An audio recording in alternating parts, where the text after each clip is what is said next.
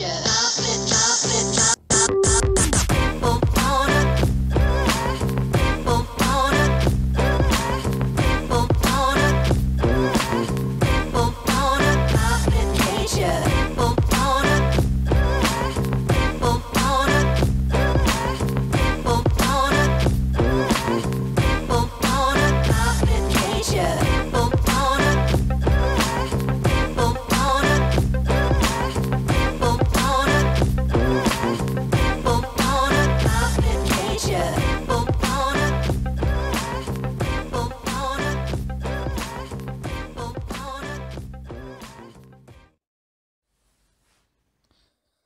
Hi everyone, I want to share with you an exercise that I use to um, upgrade my dodging, my striking, and my counter skills, my movement as well.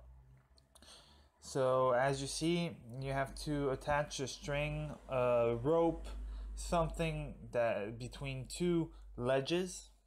Most uh, the best would be a rope.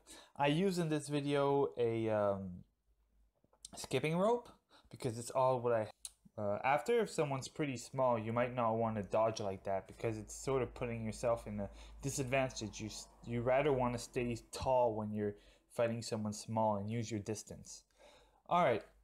So what you do as you can see you dodge on dodge under the rope and you give a, a combo or one strike and you uh, keep advancing or you can also go backwards and you try to try to mix it up a max the most you can so you can uh, make it as difficult as possible. So when you're in a fight you can um, handle the difficult strike the difficult situations where the person is striking a lot and you know using lots of backward and forward movements and uh, it's good to train everything so sometimes you go forward, sometimes you go backwards, sometimes you do one strike, sometimes you do combos. Try to mix it up and the most you can uh, when you, you, you can, when you're used to it. So yeah, pretty much it. It really helps me when I use this exercise. Every time when I go back in a sparring session, I see myself dodging stuff and and using uh, dodges I don't usually use and countering pretty awesomely. So yeah, I, am pretty confident you guys can get something out of this.